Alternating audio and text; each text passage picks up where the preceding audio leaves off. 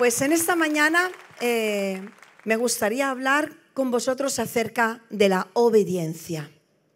El coste de la obediencia. Porque, ¿sabéis? La desobediencia tiene un coste. Y cuando metemos la pata pagamos las consecuencias. Porque la obediencia tiene un coste. Pero la obediencia tiene un precio tiene un precio que pagar. Está en nosotros la capacidad de obedecer, pero en verdad se aprende la obediencia. Como un niño cuando nace tiene la capacidad, el potencial de ser un niño una niña obediente, pero tiene que aprender a obedecer a sus padres conforme vaya creciendo. De la misma manera nosotros, aunque tenemos el principio de la obediencia dentro de nosotros, tenemos que desarrollarlo, tenemos que aprender a obedecer a Dios conforme caminemos con Él en nuestro camino de fe. Y el Señor, que es un buen Padre, nos enseña acerca de la obediencia a través de normas, de límites, de sí, no, espera.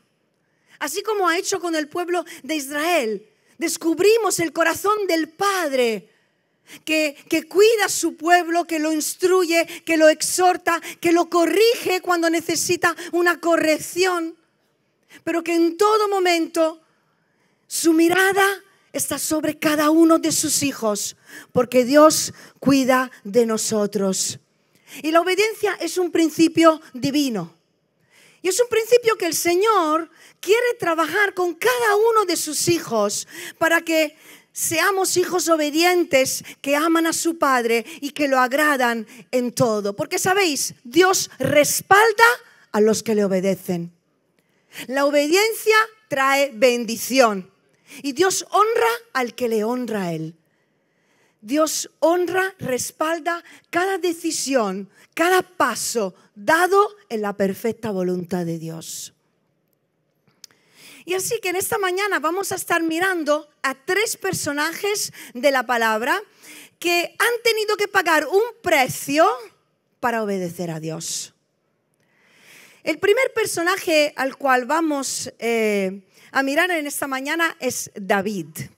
¿Todos conocéis algo acerca de David? Sí.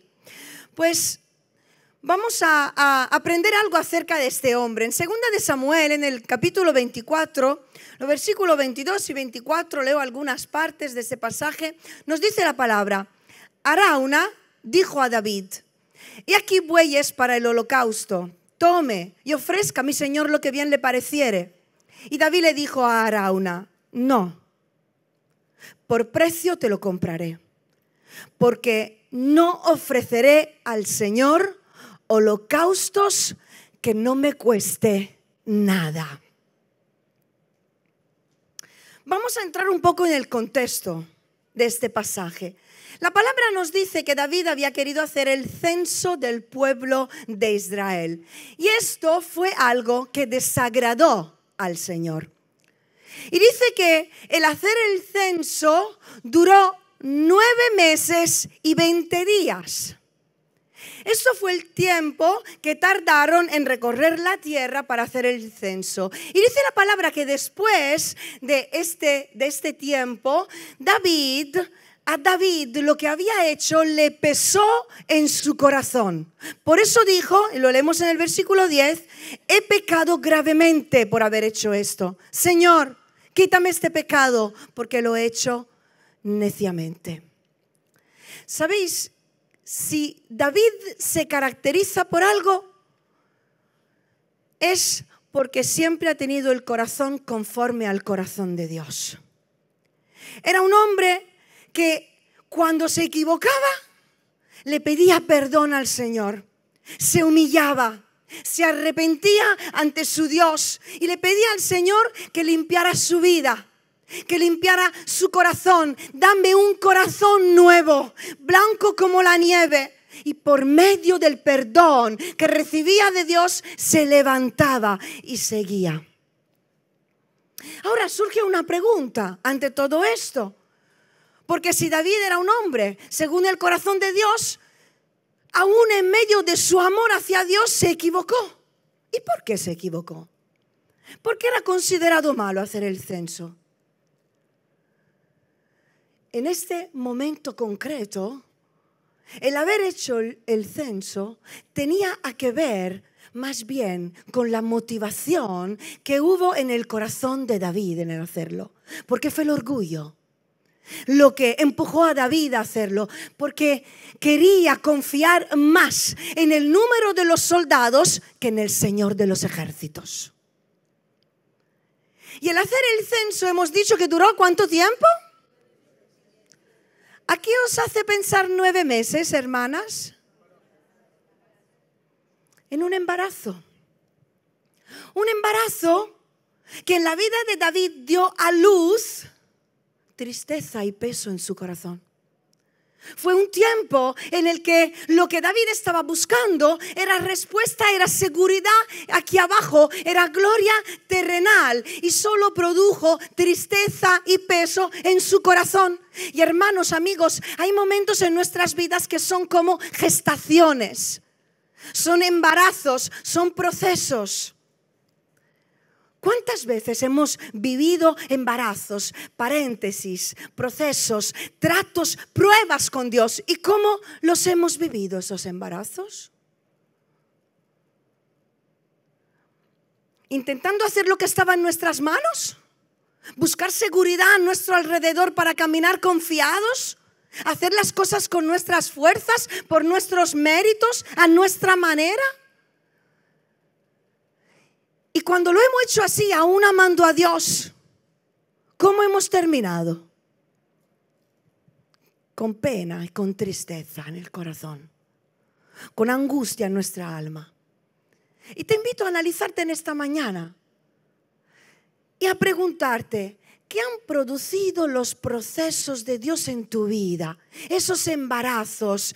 ¿Y qué es lo que da luz en tu interior cuando la respuesta no es la correcta? Cuando no ha sido la obediencia o el temor a Dios lo que te ha movido a hacer las cosas. Pero lo que te, lo que te invito a hacer es a identificar y a destacar esas actitudes que se repiten cada vez que el Señor te mete en procesos.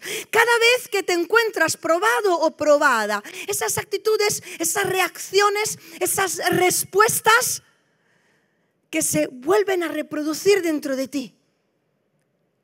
Quizás orgullo, autosuficiencia, rebeldía, idolatría. Es la apatía, es la desobediencia, es el victimismo lo que se vuelve a reproducir cada vez que Dios te, te prueba. Es la debilidad, ¿Es la inconstancia la que se destaca dentro de ti? ¿La carnalidad? ¿La fragilidad? ¿El amor al mundo? El propósito del Señor en todos los momentos y los tiempos que vivimos en nuestra vida es que aprendamos a obedecer a Dios. Es que aprendamos a temerle y amarle. Y David amaba a Dios. Y ese amor le, le, llevó a servir al Señor, a obedecerle, a dar su vida por Él y por el pueblo de Dios. Y entonces el Señor, que es un Padre bueno, porque los padres buenos, cuando los hijos, los hijos se equivocan, se lo tienen que decir. Entonces el Señor envía la peste sobre Israel. Y Gad le había dicho a David que tenía que levantar un altar, lo resumo. Y en la antigüedad, un altar era un lugar elevado en el que se depositaba un sacrificio, una ofrenda a Dios. De hecho, la palabra altar significa literalmente lugar de matanza. Y eran los lugares de adoración y de la presencia de Dios, donde se edificaba un altar. También solía pasar, eh, era común, no era de extrañar que eh, eh, iba a haber una aparición de Dios, una teofanía. Porque en ese momento esa aparición de Dios representaba la aprobación de Dios y que esa ofrenda iba a ser aceptada. Y luego con la construcción del templo de Salomón, el altar adquirió más bien un significado de reconciliación. El adorador llevaba su sacrificio a Dios Y la aceptación de la ofrenda por parte del sacerdote simboliza la aceptación de Dios, la manifestación y la bendición y la renovación del pacto. Esto lo podemos leer en Éxodo capítulo 20. Ahora, David lo que quería hacer es que él quería reconciliarse con Dios. Él quería sentirse aceptado por el Señor. Quería poder seguir trabajando por el pueblo de Dios. Quería ver la presencia de Dios manifestada en ese momento en su vida. Quería ofrecer a Dios un acto de adoración y expresó su deseo de renovar un pacto con el Señor.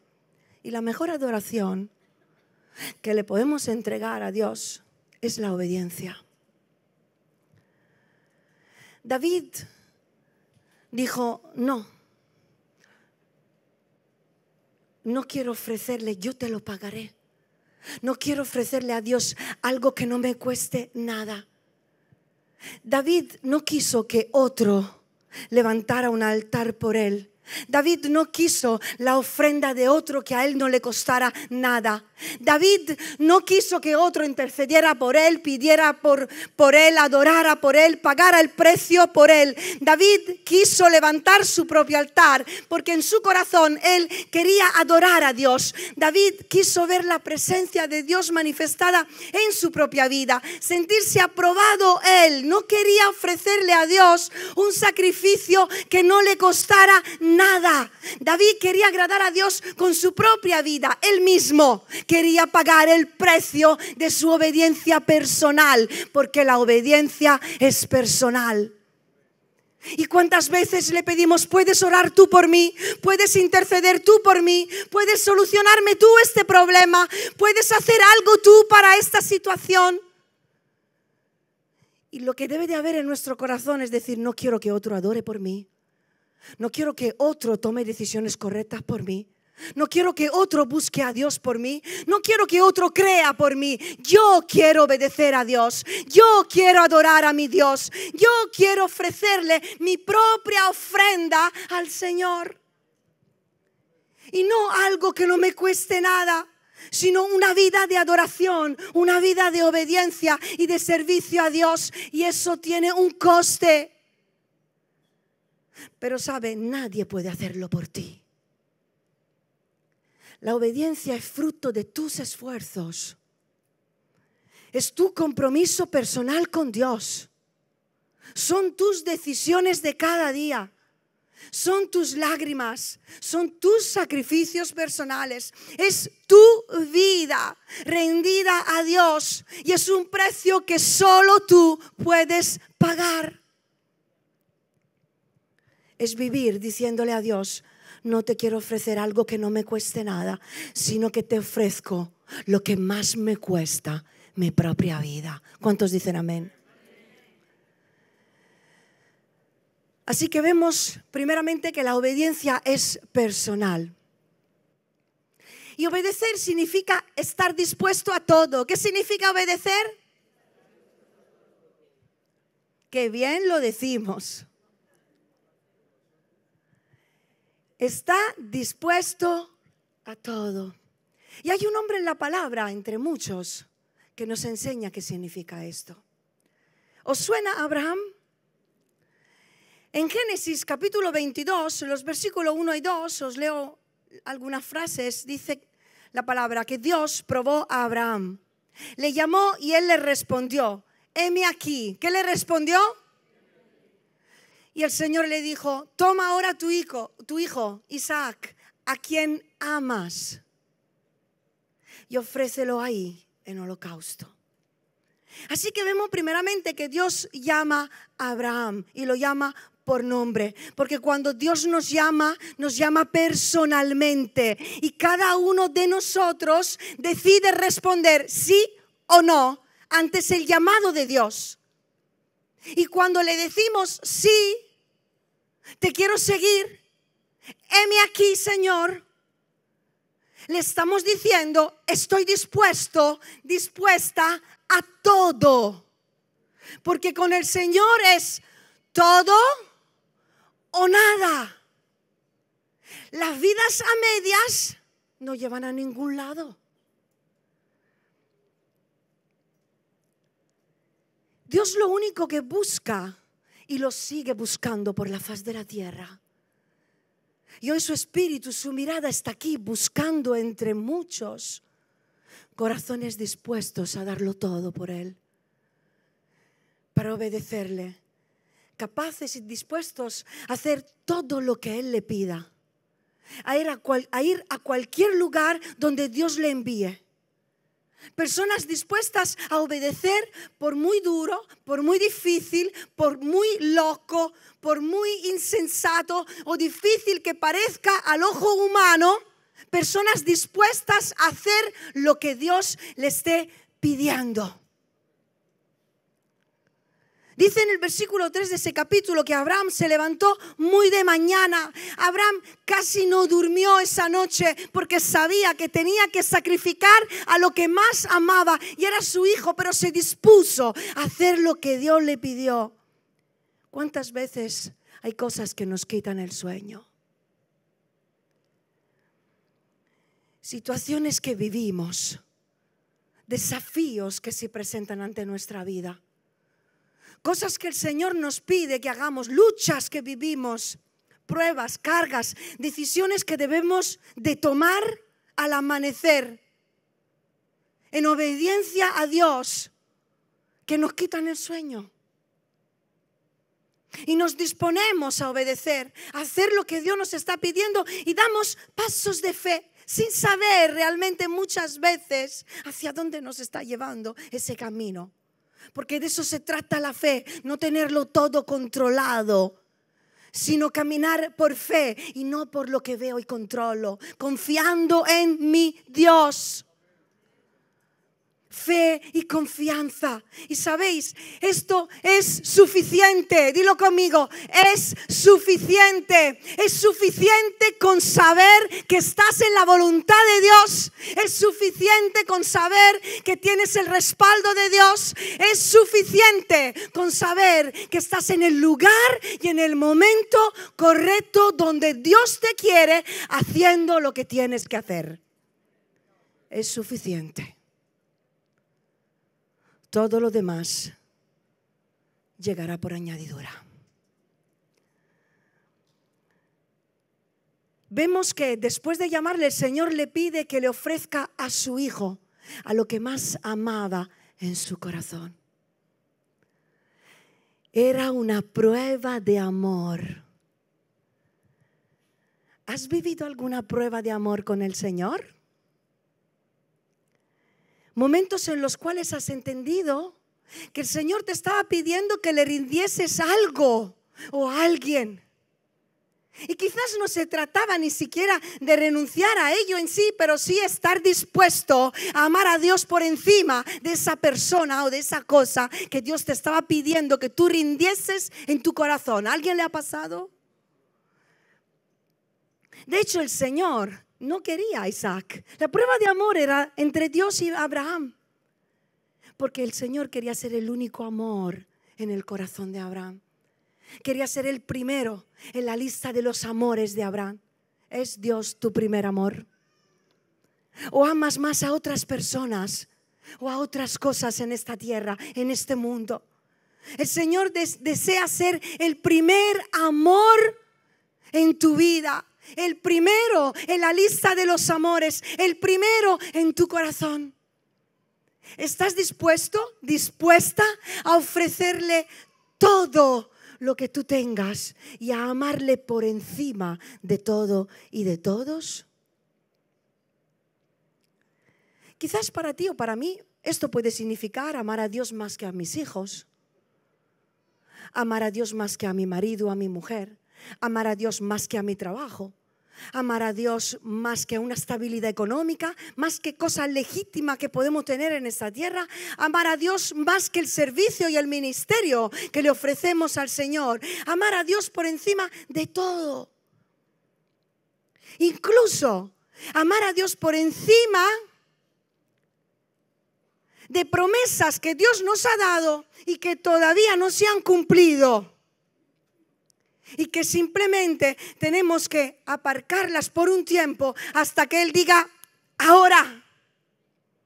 Y le seguimos amando con la misma pasión y seguimos confiando en Él, en la misma obediencia, en el mismo temor. ¿Alguien entiende lo que estoy diciendo en esta mañana? Y luego vemos que, ¿cuál fue la respuesta de Abraham? Ante ese llamado y esa petición de Dios. Abraham lo que hace, edifica un altar en el monte y se prepara y se dispone para ofrecer a su hijo. Abraham demostró que estuvo dispuesto a ofrecer a su hijo, al que más amaba, a la promesa esperada, a la seguridad de su futuro el cumplimiento de sus sueños. Pero hermanos, lo que Abraham no había comprendido era que en ese altar no era su hijo el que tenía que morir, era Abraham mismo que tenía que morir. Abraham tenía que morir a su voluntad. Abraham tenía que morir a su propio yo. Abraham tenía que morir a sus amores. Abraham tenía que morir a su propia voluntad, morir a sí mismo y ofrecer su propia vida en sacrificio vivo a Dios. Ese altar estaba preparado para él.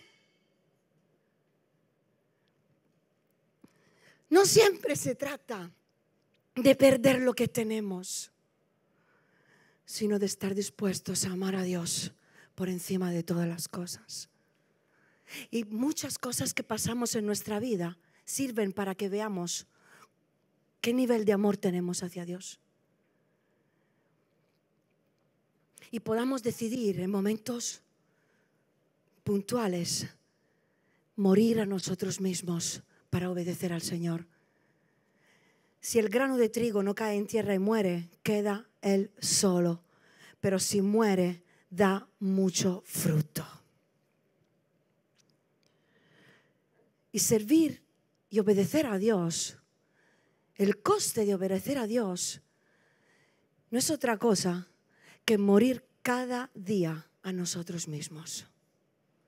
Morir cada día a nuestras pasiones morir cada día a nuestra voluntad, a nuestras prioridades, a nuestras ambiciones, a nuestros planes, morir cada día a nuestra naturaleza humana que quiere dominar nuestra mente, nuestra lengua, nuestro carácter, nuestro corazón, nuestro matrimonio, nuestra familia, nuestra situación laboral, económica, el ministerio, sino dejar que sea el amor de Dios y nuestro Padre a guiarlo todo, a tenerlo todo y nosotros rendirle nuestra vida entera en completa obediencia y confianza a Dios.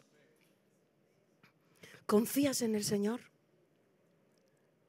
¿Cómo reaccionas ante los desafíos del Señor? Ante las pruebas de amor que Dios produce en tu vida. Ante esos cambios de planes. Cuando tú pensabas hacer algo o te esperabas una respuesta determinada. Sin embargo, Dios te dice no, por la derecha no, por la izquierda. ¿Dudas o tienes fe? ¿Cómo respondes ante la prueba de amor? Cuando te pide que renuncies a algo o le entregues esa parte de tu vida que tienes guardada. ¿En obediencia o en rebeldía? ¿Huyes o caminas hacia Él? Aunque no lo entiendas todo. El Señor nos prueba con pruebas de amor para ver si escogemos obedecerle, a pesar de lo difícil que es a veces obedecer a Dios. Pero solo seremos capaces de obedecer a Dios cuando le amaremos con todo nuestro corazón. Entonces la obediencia va a ser el fruto natural del amor que le tenemos a Dios. Y decidimos pagar ese precio porque el amor que le tenemos a Dios es más fuerte que cualquier otro amor en nuestra vida. Amén. Y por último, y no menos importante, sino que creo que es el ejemplo más importante, el personaje central de todas las escrituras. Y en él me quiero concentrar.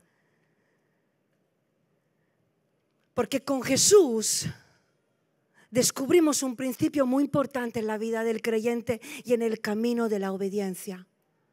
Y es que Dios nos da la fuerza para obedecerle. Jesús voluntariamente se ofreció para dar vida a otros. ¿Y qué dijo? Leemos en Juan capítulo 10, 17. ¿Estáis conmigo? Yo pongo mi vida para volverla a tomar. Nadie me la quita, sino que yo de mí mismo la pongo. Tengo poder para ponerla y tengo poder para volverla a tomar. Este mandamiento recibí de mi Padre. O sea, está diciendo, es lo que me ha dicho que tengo que hacer. Y eso hago, aunque yo puedo hacer otra cosa. Jesús decidió obedecer al Padre. Y escuchadme bien, Dice Hebreos 5:8 que aunque era hijo, por lo que sufrió, aprendió la obediencia. ¿Cómo que Jesús aprendió la obediencia? Jesús no sabía lo que era la obediencia. Jesús no sabía obedecer. Si Jesús es la obediencia personificada. ¿Qué quiere decir ese versículo con que por lo que sufrió aprendió la obediencia? Significa, hermanos, que Jesús aprendió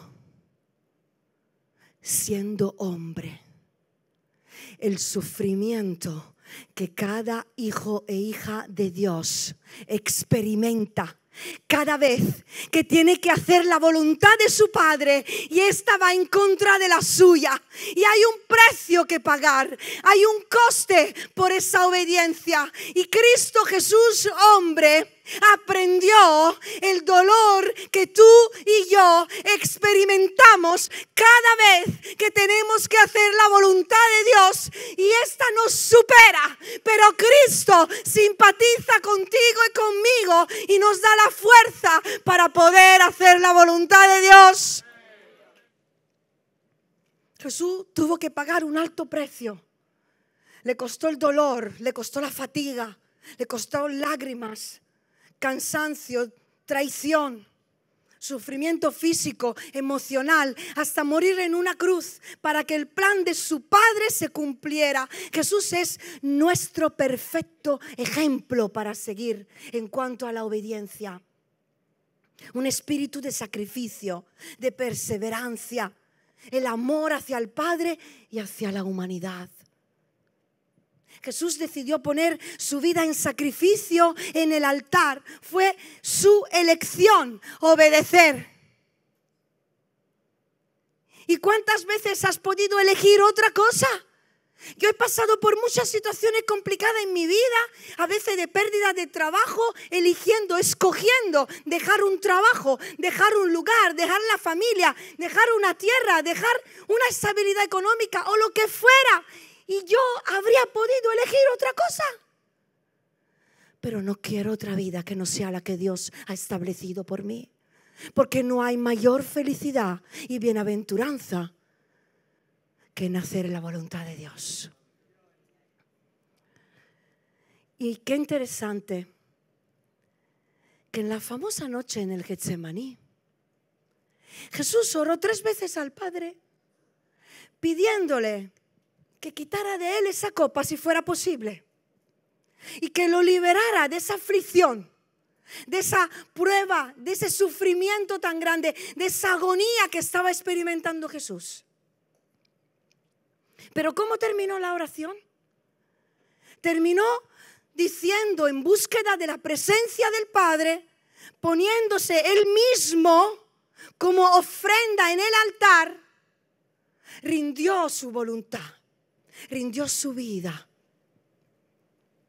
y dijo, se haga, no se haga mi voluntad, sino la tuya. Porque Padre, no se trata de lo que yo quiero, sino de lo que tú quieres para mí y para este mundo. Y fijaos una cosa, es interesante leer en Hebreos 5.7 que Cristo, ofreciendo ruegos y súplicas con gran clamor y lágrimas al que lo podía librar de la muerte, fue oído. ¿Qué dijo? Fue oído a causa de su temor reverente. Y yo os pregunto en esta mañana, ¿en qué fue oído Jesús y murió? ¿En qué fue oído si el Padre no le dio lo que pidió? ¿En qué fue oído Jesús si no fue liberado de la muerte? Si murió en una cruz, ¿en qué fue oído?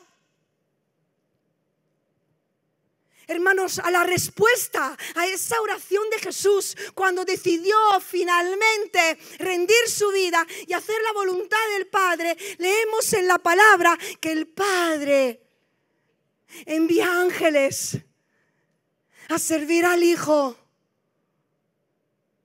que fueron enviados específicamente en ese momento para fortalecerle para darle la fuerza que Jesús necesitaba para pagar ese precio, ese coste tan alto que tenía que pagar por amor al Padre y por amor a la humanidad.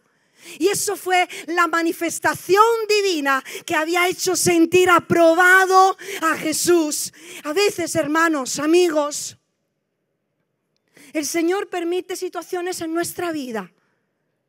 Aguijones, sufrimientos, enfermedades, pruebas, dificultades, tensiones en el ministerio, en el matrimonio, en la familia, en el trabajo.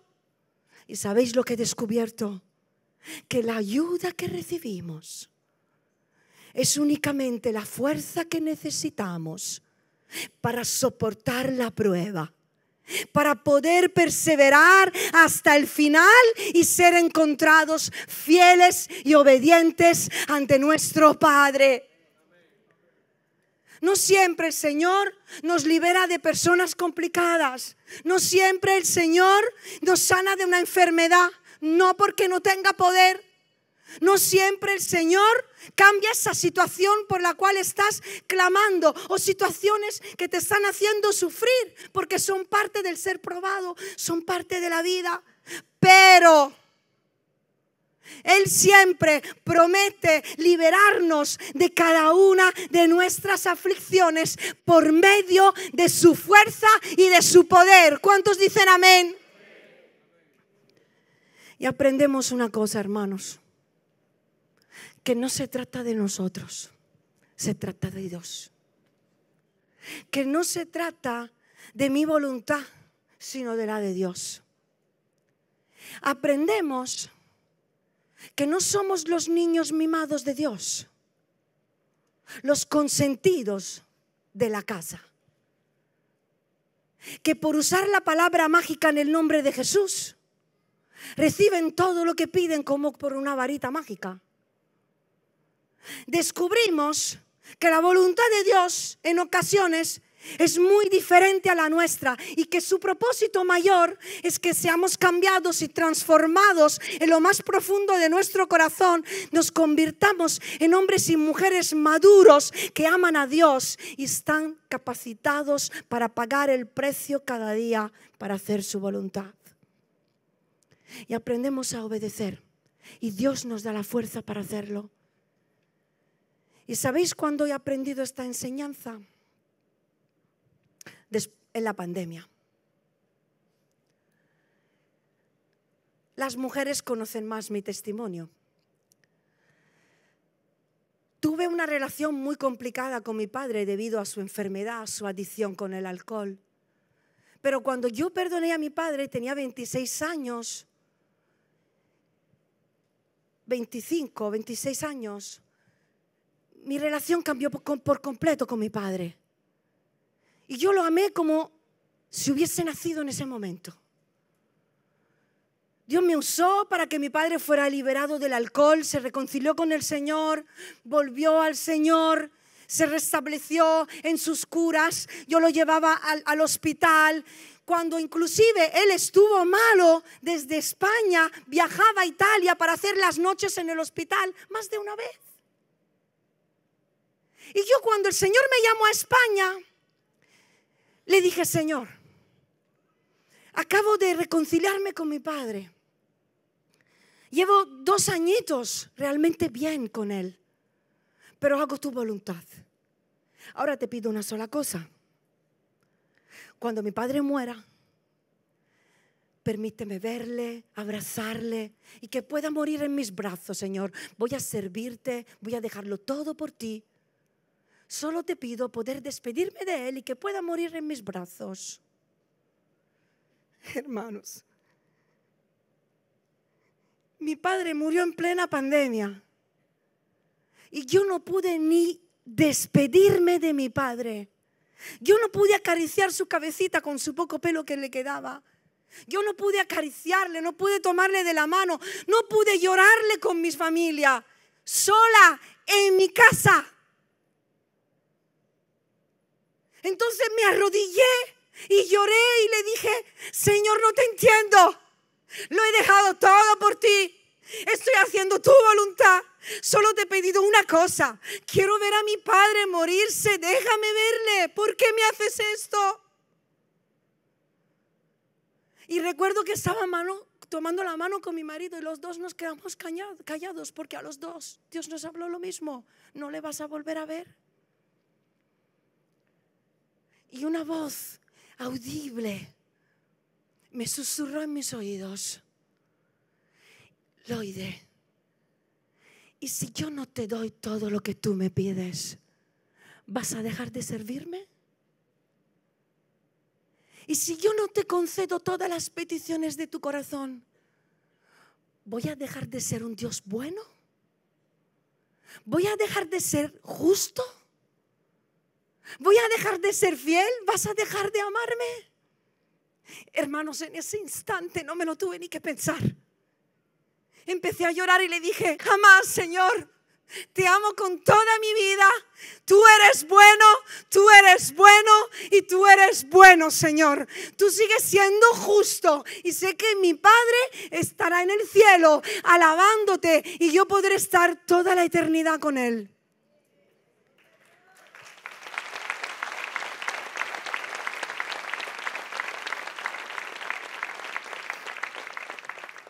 Entonces aprendí que el Señor no tiene deuda conmigo ni contigo.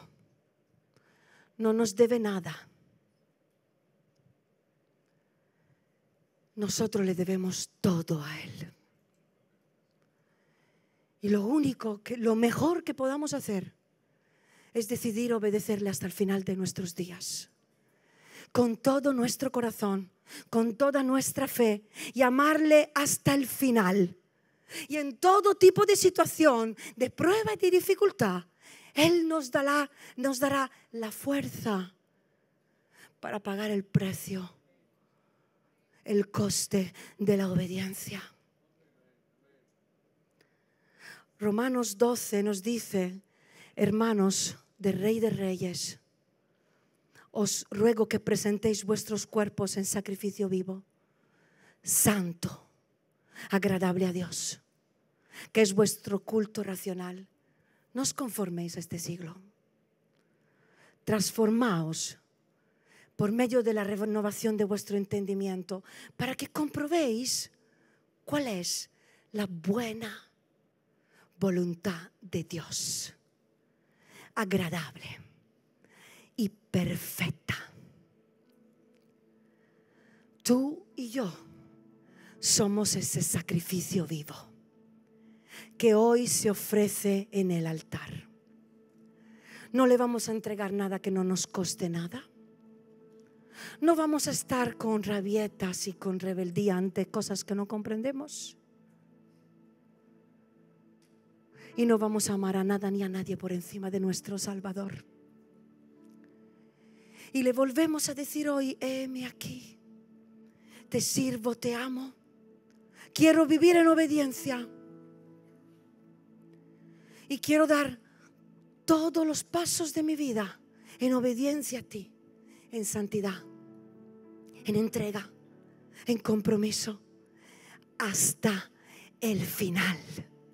Y si eres tú esa persona, en esta mañana yo te quiero invitar a que tú te pongas de pie, levantes tus manos y tu vida entera sea ese sacrificio rendido a Dios en este día. aquel que lo ha dado todo por ti, lo ha dado todo por ti, se ha entregado completamente por ti y cada día sigue intercediendo por ti.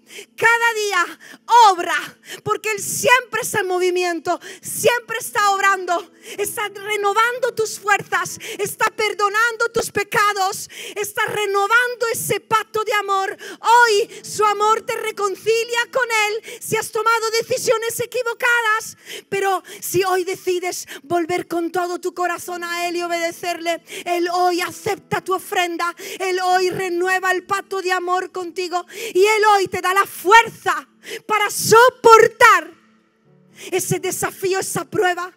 Te da la seguridad para tomar las decisiones correctas y respaldará tu vida con su bendición y su presencia